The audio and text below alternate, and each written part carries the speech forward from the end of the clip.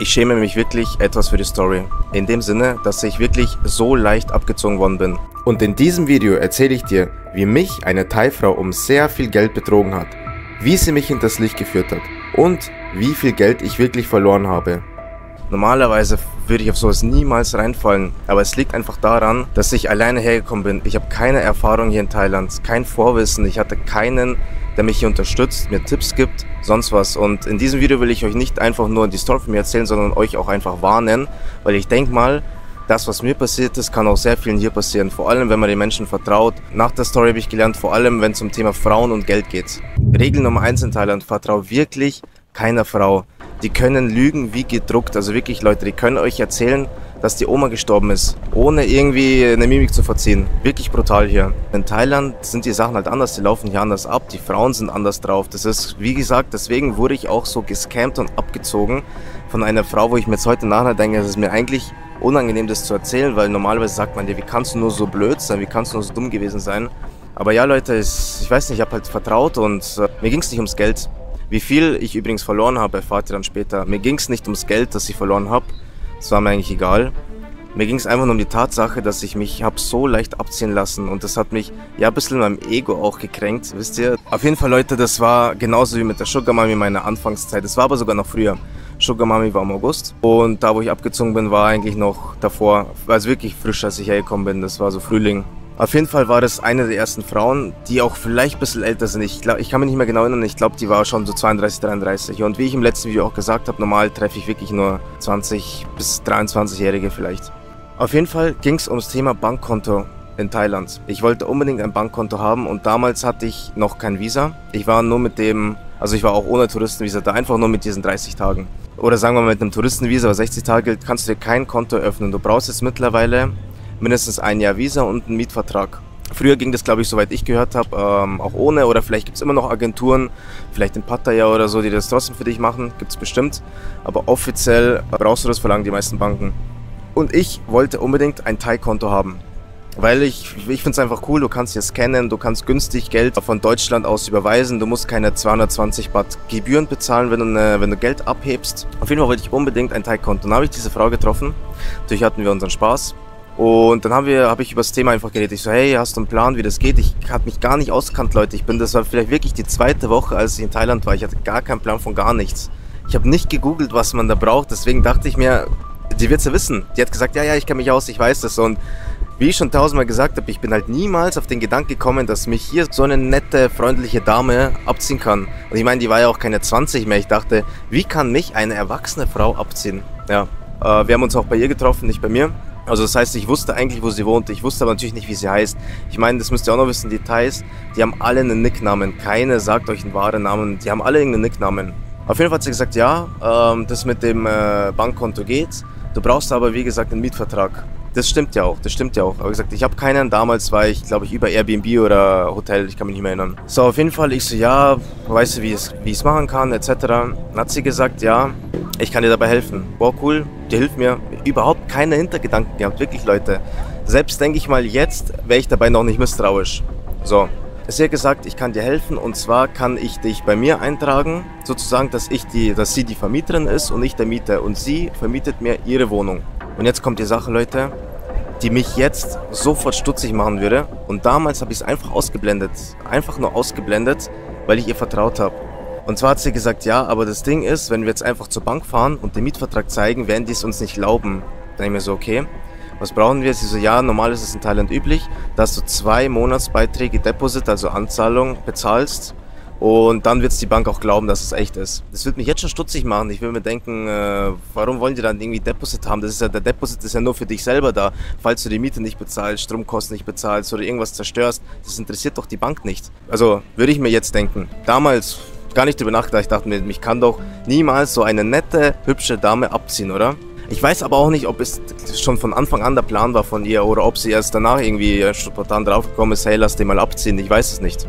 Habe ich mir nichts gedacht und jetzt kommt wirklich das Dumme, Leute. Ich, ich schäme mich wirklich, das gerade zu sagen. Wisst ihr, was ich gemacht habe? Wir sind auf jeden Fall zu einem 7-Eleven gefahren und sie hat gesagt, ja, du kannst mir das Geld in Bar geben und ich zahle es ein. Im 7-Eleven kann man anscheinend auch Bargeld einzahlen und das geht dann direkt auf dein Konto. Auf jeden Fall, ich natürlich, ja, ja, sofort. Leute, das waren 20.000 Baht. Ich weiß gar nicht, wie viele Euro das sind, ich blende unten ein, das waren 20.000 Baht.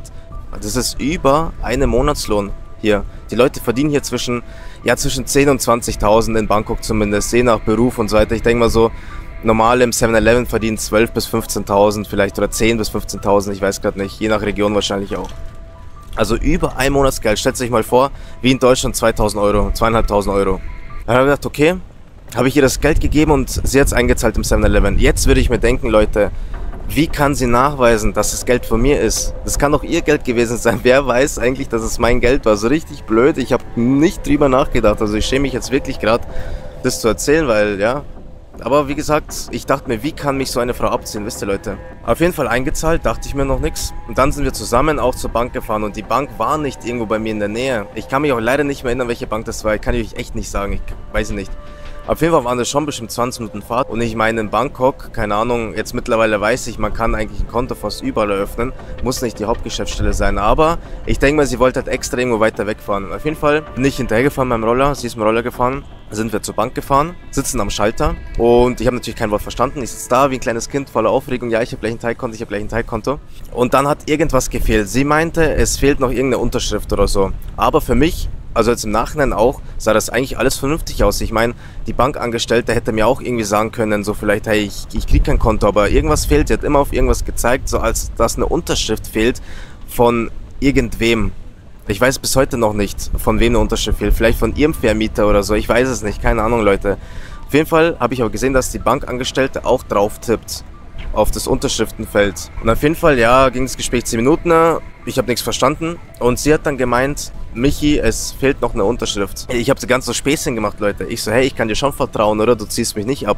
Sie so, nein, nein, nein, das wäre ja viel schlimmer, wenn du irgendwas anstellst, weil ich meine, das ist ja illegal, dass ich das untervermiete und so weiter. Sie wollten mir halt ein schlechtes Gewissen machen, beziehungsweise es halt so rumdrehen, dass ich ihr theoretisch was Schlimmes antun könnte und sie mir nicht. Also dass theoretisch ich ihr was viel Schlimmeres antun könnte mit der ganzen Geschichte, als sie mir. Auf jeden Fall war bis dahin eigentlich auch alles noch im Rahmen. Und sie hat mir sogar, das ist eben das Ding, ich glaube, das war einfach spontan von ihr, dass sie mich abgezogen hat. Das war nicht geplant. Weil sie gesagt hat, es war schon, wir waren irgendwie den ganzen Tag damit beschäftigt. Weil ich meine, wir haben uns, weiß nicht, mittags getroffen, dann musste sie nochmal heim Unterlagen holen und dann war es eh schon Nachmittag und ich hatte eigentlich keine Lust mehr. Und dann hat sie gesagt, ja, wir müssen nochmal zu mir fahren, wir können zu mir fahren und danach fahren wir nochmal hin. Und dann habe ich selber gesagt, ich selber, hey, lass morgen machen, weil ich hatte keinen Bock mehr. Und wie gesagt, ich bin, wäre niemals auf die Idee gekommen, dass die mich abzieht. Also, und danach haben wir gesagt, okay, wir treffen uns morgen, wir treffen uns morgen. Und Leute, auf jeden Fall war das das letzte Wort, was ich von ihr gehört habe. Und auch die letzte Nachricht. Natürlich habe ich ihr dann in der Früh geschrieben, nächsten Morgen, hey, wie schaut's aus, wie viele fahren wir? Kommt nichts. Ruf an, kommt nichts. Ja, und dann habe ich es mir schon ein bisschen gedacht. Ich denke mir, okay, es ist wirklich passiert, Michi, du wurdest abgezogen. Und danach habe ich probiert, sie anzurufen. Und dann habe ich auch so geschrieben, ja, dass ich zur Polizei gehe. Und dann dachte ich mir selber, Michi, was, was bringt das, zur Polizei zu gehen? Was? Erstens, ich bin Ausländer. Mir wird sowieso nicht geglaubt. Zweitens, was soll ich da sagen, dass ich zum 7-Eleven gegangen bin, ihr Geld gegeben habe und ihr wisst ja, eh, das, das bringt nichts. Das bringt nichts. Ich wusste ja, wo sie wohnt. Ich wusste ja, wo sie wohnt. Genau, ich habe geschrieben, ich weiß, wo du wohnst und sonst was, aber wie gesagt, ich kann es nicht nachweisen. Selbst theoretisch, wenn ich mit der Polizei vor Ort wäre, was, was will ich nachweisen? Und dachte ich mir, ja, okay, das, das bringt eh nichts. Auf jeden Fall habe ich hier probiert, ein bisschen Angst zu machen, aber ja, ich denke mal, die wird es nicht das erste Mal gemacht haben. Und ich habe das nicht mal irgendwie meinem besten Kumpel erzählt, weil, wie gesagt, normalerweise habe ich schon ein Feingefühl für sowas. Thema Geld, Thema Vertrauen und so weiter. Normal habe ich dann Feingefühl, aber Leute, ich habe mich so wirklich geschämt. Mir war das Geld egal. Also 20.000 Baht, okay, habe ich gesagt, okay, das ist Lehrgeld. Selbst wenn es 30.000 Baht gewesen wären, hätte ich mich niemals über das Geld geärgert, sondern nur über mich selber, wie ich so blöd sein konnte. Fazit der Geschichte, Resümee. Vertraue niemals einer Frau, wenn es ums Thema Geld geht. Es gibt noch bestimmt viel schlimmere Geschichten. Okay, ich habe 20.000 Euro, äh, 20.000 Baht in den Sand gesetzt. Und jetzt im Nachhinein denke ich mir so, wo ich gerade das Video aufnehme, die hat es bestimmt nicht das erste Mal gemacht. Wisst ihr warum, Leute? Die glauben hier alle an Karma. Das wird normalerweise, wenn eine Frau vernünftig ist, wird sie sowas niemals machen. Das bedeutet, die hat es bestimmt nicht das erste Mal gemacht. Die macht öfter solche Sachen wahrscheinlich, weil die juckt's nicht. Normale Frauen, also wie gesagt, Leute, ihr könnt auch Frauen vertrauen. Glaubt mir, Leute, die können lügen wie gedruckt. Die können euch so in die Augen gucken, wie ich euch jetzt anschaue und einfach eiskalt lügen, ohne die Mimik zu verziehen. Also Leute, Fazit, vertraue niemals einer Frau, wenn es ums Geld geht in Thailand.